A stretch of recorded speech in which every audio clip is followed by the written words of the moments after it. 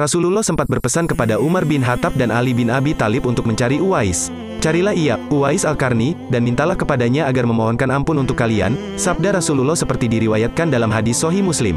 Siapa sebenarnya Uwais Al-Karni sehingga begitu istimewa bagi Rasulullah? Uwais adalah sosok pemuda yang soleh dan sangat memuliakan ibunya. Uwais senantiasa merawat dan memenuhi semua permintaan ibunya. Salah satu keinginan terbesar ibunya ialah bisa berangkat haji, namun ibunya sudah tidak kuat jalan dan jarak yang begitu jauh karena Uwais dan ibunya tinggal di Yaman. Akhirnya Uwais berlatih setiap hari mengangkat lembu naik turun gunung sampai ototnya kuat.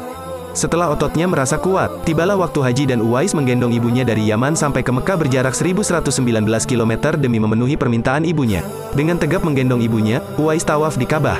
Ibunya terharu hingga mencucurkan air mata. Kebaikan Uwais ternyata telah diketahui Rasulullah Shallallahu Alaihi Wasallam. Beliau mengabarkan kepada Umar bin Khattab dan Ali bin Abi Talib terkait ciri-ciri pemuda penghuni langit yaitu Uwais Al-Karni.